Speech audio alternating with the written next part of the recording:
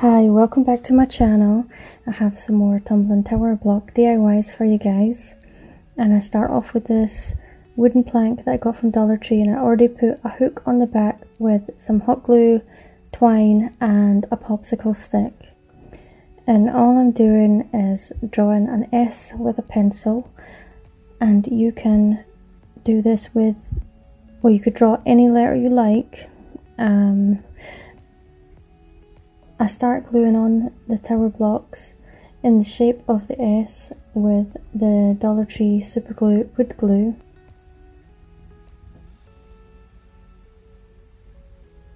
And with this, this, and if you do it this way, you can make the letters more curvy, and they will all turn out nice.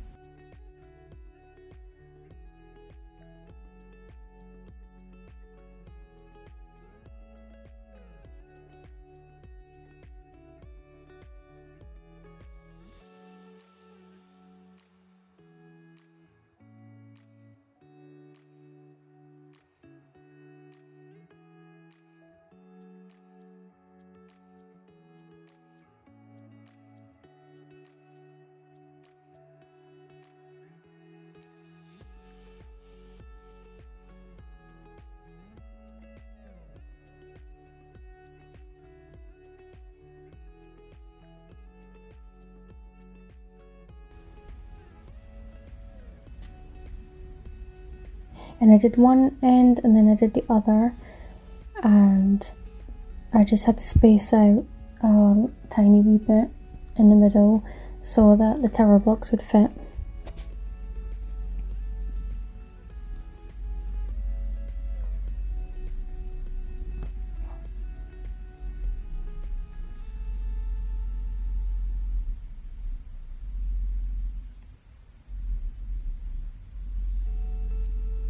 Off camera painted it with the Waverly Antique Wax and then I just glued in some uh, Spanish moss and some succulents. Yeah, I wanted to give you guys an easier way to make the letters with the tower blocks. For this next DIY I made two squares with 12 blocks in them.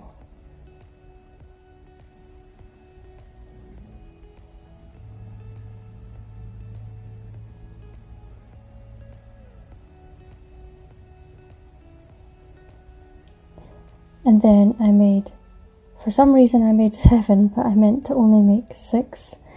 And it's just joining the two um, blocks together.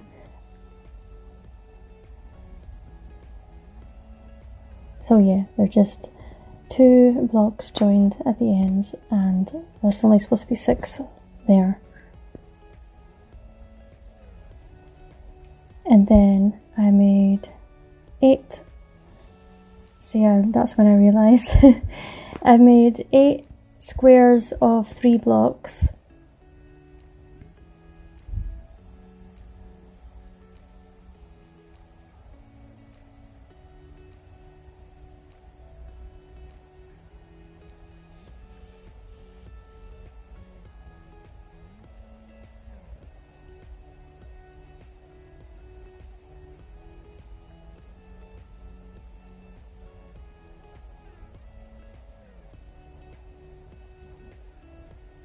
See, I didn't join them all up. Off camera, I stained it with the Waverly Antique Wax, and I also made, I also stained some other blocks in a set of 6, 16, 26, and then 36.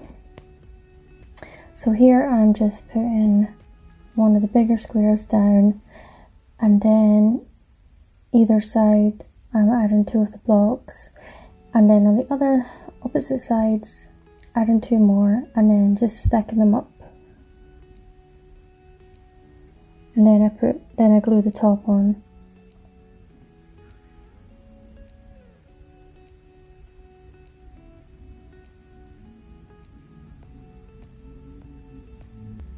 Oh, that's where I'm, I was supposed to be telling you how many's in it. So I just take one of the set of three blocks that I already glued together earlier and then I just stack these up the same way this one has um, is five blocks high. This one is ten blocks high. And the next one is 15 blocks high and then 20 blocks high. And I show you these two and then I do the other two off camera.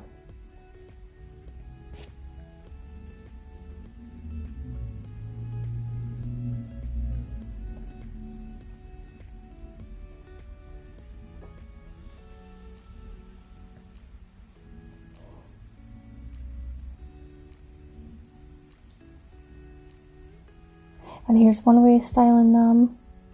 And then another way you could always make another three for the other side. But this is I just thought I would set them out like this. And I just put some little candles I got from Amazon on the top. And I think they turned out really cute.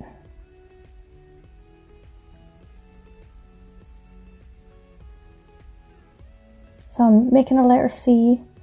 And I know some people have been asking for more letters so I will try and make one for every video or maybe a couple for every video.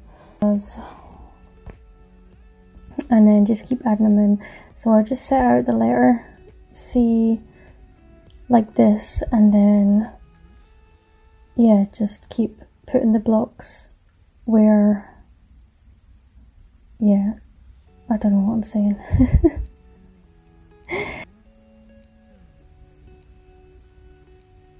This is me just figuring out where I'm going to put them all.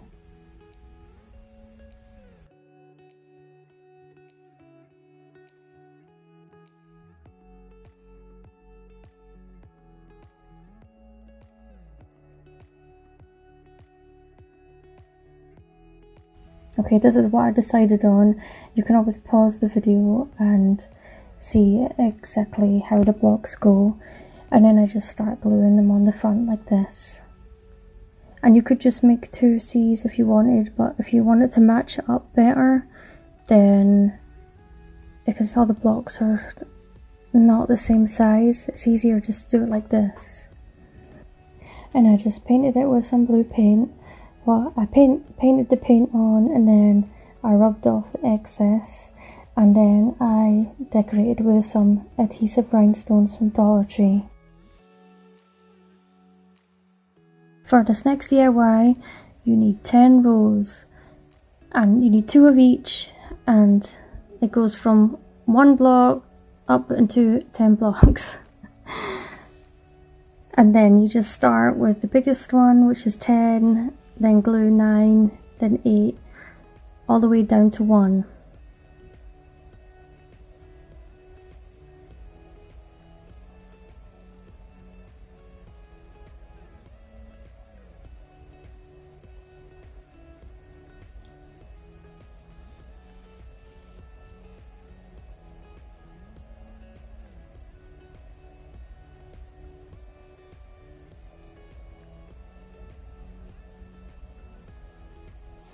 And then repeat the same thing with the remaining blocks. And you end up with this. And then all I do is join them together.